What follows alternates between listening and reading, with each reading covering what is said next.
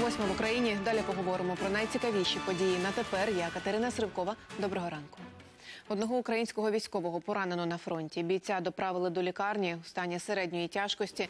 Минулої доби було три обстріли. Неподалік Мар'їнки та Широкиного незаконні збройні формування атакували зі стрілецької зброї та мінометів важких калібрів. Поблизу Красногорівки армійці знищили ворожий безпілотник.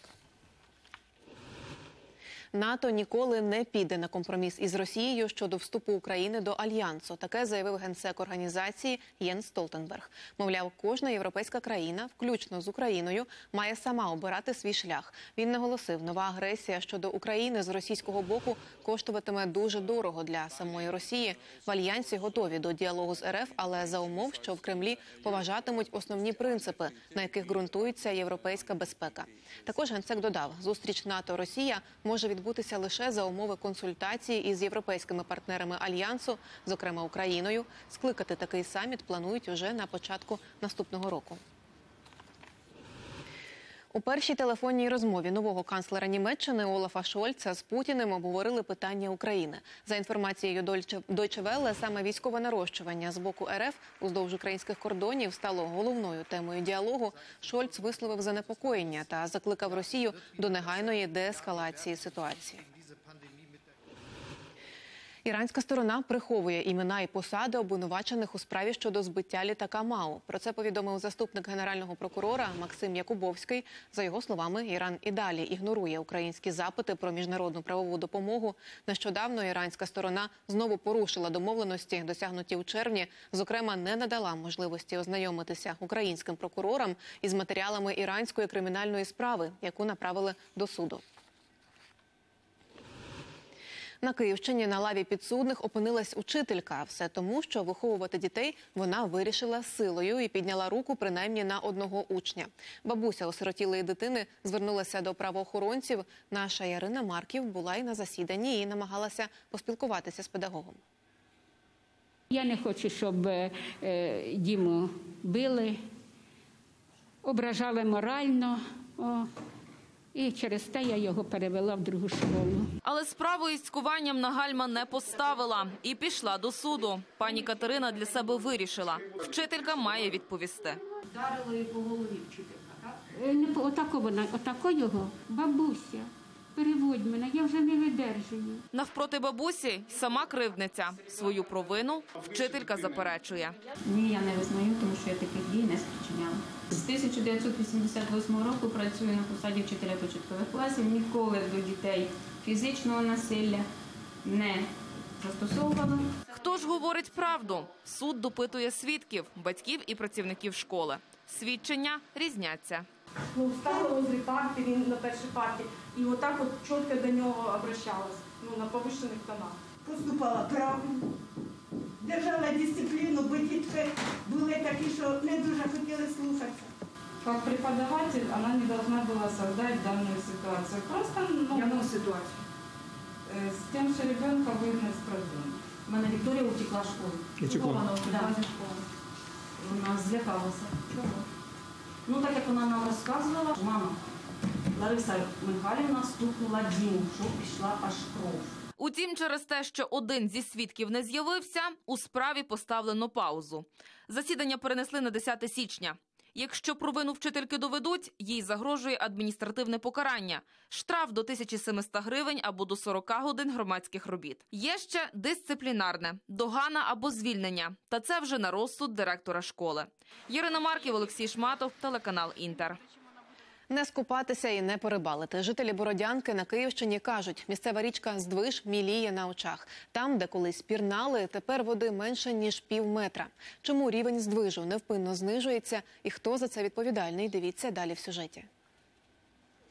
Селище Бородянка, річка Здвиж. Точніше те, що від неї залишилося. На цих берегах місцеві вже кілька років не відпочивають і не рибалять.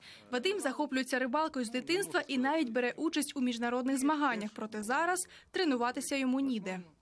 До цього рибалив, але зараз вже нема до чого тут рибалити. Зараз з, року в рік воно таке робиться. Бачу, що е, річка гинне. і гублять, і це дуже шкода. І проблема не тільки в глобальних кліматичних змінах, вважає Максим Рибалка із багаторічним стажем. На останній міжвідчим комісії по регулюванню рівневого режиму води річки Дніпро і Дніпровських водосховищ було встановлено, що зараз наповнення річки Дніпро всього 60%.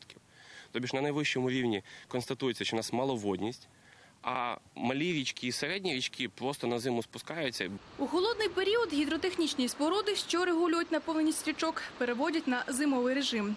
Спускають воду, аби згодом під час станення льоду не сталося переливання через греблю.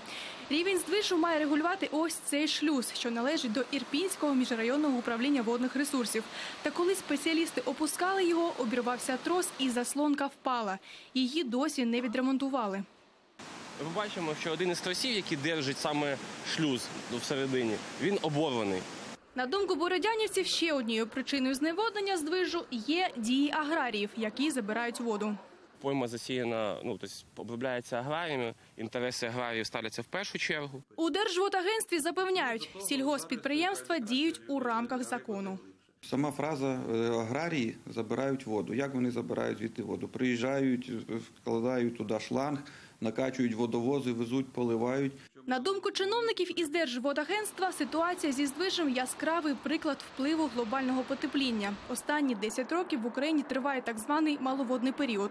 Загалом рівень у водоймах напряму залежить від гідрологічного режиму, клімату та сезону. На повноводний Дніпро ці фактори мало впливають. Інша справа малі річки. За даними екологів, за роки незалежності з мапи України зникли або перетворились на болота близько 10 тисяч річок. Марина Глущенко, В'ячеслав Фролов, Сергій Коваль, Володимир Тєдов. Новини, телеканал Інтер. Жовта карантинна зона в Україні розширюється. Уже в четвер карантинні обмеження послаблюють ще в шести регіонах. Напередодні Держкомісія вирішила вивести з червоної зони Житомирську, Київську, Миколаївську, Сумську, Черкаську та Чернігівську області. Нагадаю, за правилами жовтої зони, всі, хто хоче користуватися транспортом, відвідувати кафе, кінозали чи ходити на роботу, мусять мати хоча б перше щеплення. У Єврокомісії скоротили термін дії ковід-сертифікатів. Тепер вони будуть дійсними для подорожей упродовж 9 місяців із часу останнього щеплення. Такий строк пояснили тим, що бустерну дозу рекомендовано вводити вже через 6 місяців після повного курсу імунізації, а 3 місяці це додатковий період, щоб люди гарантовано змогли отримати доступ до бустеру. Запрацюють нові правила з лютого. За кілька тижнів омікрон домінуватиме у більшості країн Європи, заявили у Всесвітній організації охорони здоров'я та закликали уряди готуватися до нового шторму, адже сплеск захворюваності може поставити медичні системи країн на межу колапсу.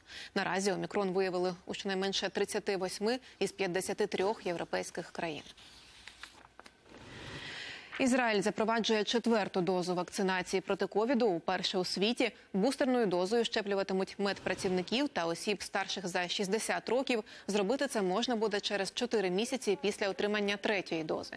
В уряді вважають, що такий крок допоможе подолати хвилю омікрону, що охоплює світ. На тепер Україні повністю імунізовано понад 63% населення. Німеччина запроваджує обмеження щодо масових зібрань на новий рік. Із 28 грудня по 7 січня Україні закриють клуби та дискотеки. Футбольні матчі й надалі відбуватимуться без глядачів. Заборонять продаж та використання феєрверків. Вакцинованим дозволять збиратися разом до 10 осіб. Нещепленим можна буде запросити додому не більше як двох гостей. У лондонському зоопарку з прийдешніми святами привітали його мешканців. Пакунки з новорічними презентами отримали леви та мавпенята. Їм працівники звіринцю принесли святково загорнуті коробки, і вже за мить тваринки почали їх розкривати. Усередині були найулюбленіші ласощі. Тож усі мешканці зоопарку залишилися ситими та задоволеними.